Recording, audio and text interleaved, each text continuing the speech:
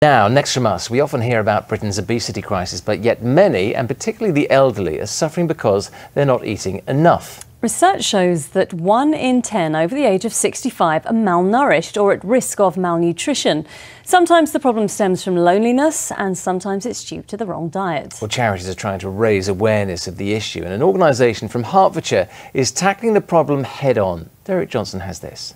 A long while ago now, I'm afraid. A home visit for Kay and Arthur Wingate in Broxbourne from the nutrition team at Hertfordshire Independent Living Service. Take care, bye. Kay and Arthur have food delivered. For others, though, isolation and a lack of understanding that older people need more calories means senior citizens are suffering from or at risk of malnutrition.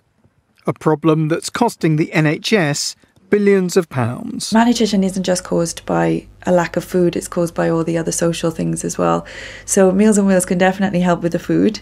And we're really lucky we have what we call nutrition boosts, so we can send out packs of extra food, soup, biscuits, cakes, and milkshakes as well, um, that can help people if they are losing weight through a lack of food.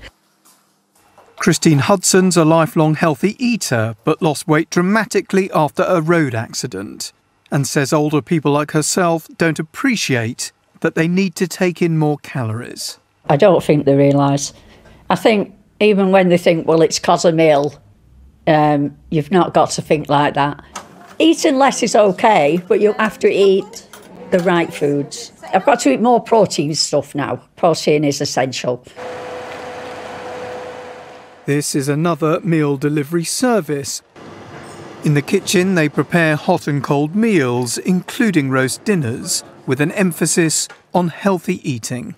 The issues are generally where people can't fend for themselves or they can't look after themselves as they become older, they might become more frail, but also it might be they might be incapacitated in some way as well. So by able to get a meal delivered in as part of a care package or some extra support, we know that they're getting a freshly prepared meal every single day to help them combat that malnutrition. Just as that person progresses or declines, it's usually the first thing to go is their appetite or it might be, you know, their ability to create that meal. Good morning, Elsie.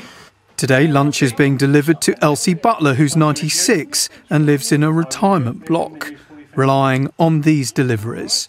I don't go shopping, you know, I have to have someone take me shopping. And um, I don't really like the food that I buy, I just add to it all the time. I divide it into two and then I put five new vegetables every day, you know, into it. And I think that sort of keeps me going. Age UK says more work needs to be done to combat the myth that losing weight and becoming frail is normal as you grow older. Often it says it's just a sign of undernourishment, which is entirely preventable. It's calling on family members, even health professionals, to be more alert to the dangers of malnutrition, to its signs and symptoms. Derek Johnson, ITV News.